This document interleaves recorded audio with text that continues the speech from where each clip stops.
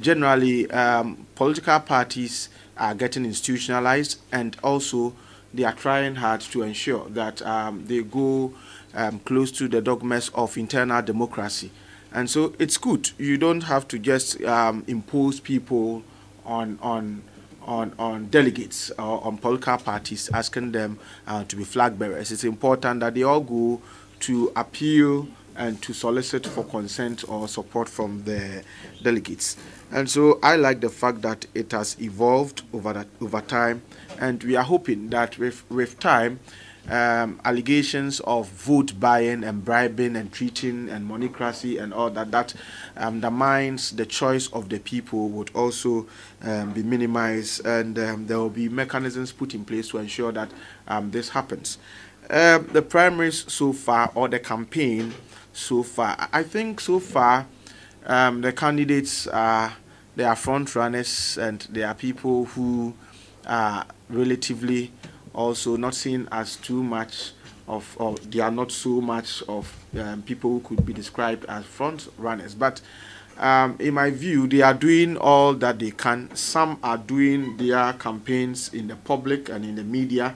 Others are also working behind the scenes, um, doing door to door and trying to talk to those who would really be deciding who should be um, um, um the flag bearer of the party. So far, I think that it's been incident free. Um, the parties, in my view, are doing well. They are doing the needful and and all that. The, the, the point that must be made is that um, people at this juncture should not hide um, or should not take solace and consolation from the fact that they are known to be popular. Um, sometimes there is difference between popularity and acceptance. And so um, um, those who are known and they are being much talked about in the media must appreciate the fact that um, you may be known in the media, but when it comes to the crunch, is the people who must vote.